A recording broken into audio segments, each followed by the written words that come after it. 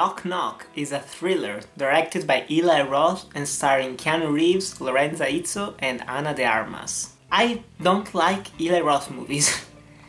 I don't like Hostel, I don't really like Cabin Fever, I'm not a big fan of him.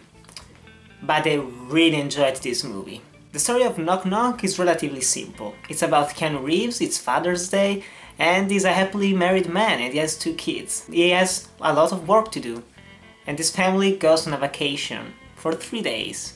He's gonna stay at home, he's gonna get some work done. But that night, two girls come to his house. They're really cold, they're really wet, and they need help, and he helps them. And then they try to seduce him.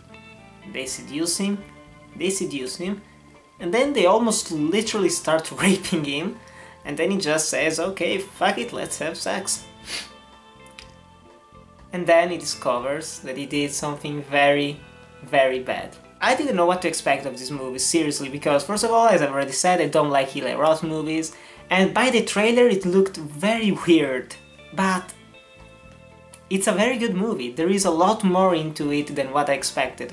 First of all, when you're watching the trailer you think, yeah, what are you doing, why are you having sex with them, you're, you're married, you're just stupid, but Keanu Reeves gives one of his best performances in a long time. It's a very great performance from him because he does sell a man that's struggling with himself. He doesn't want to do that.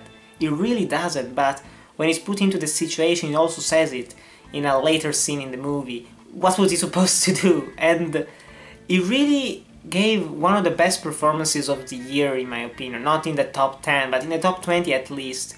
Because Keanu Reeves, we've always, always seen him as someone boring. he's never been a great actor, but in these years he's getting very, very better. He's a happier man also, if you watch some interviews, he's a very happy man. And I'm glad that he came back.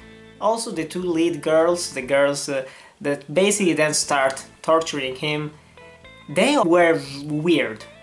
They were very weird. Their acting was a bit cheesy sometimes, but you actually never know if that's just them being not all that great actresses or it's just the character because they are playing a role. That's not who they are.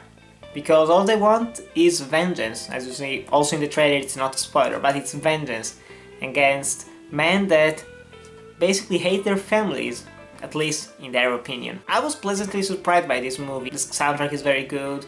The story does have some twists and turns that I wasn't expecting the acting is pretty good, and the directing surprisingly good.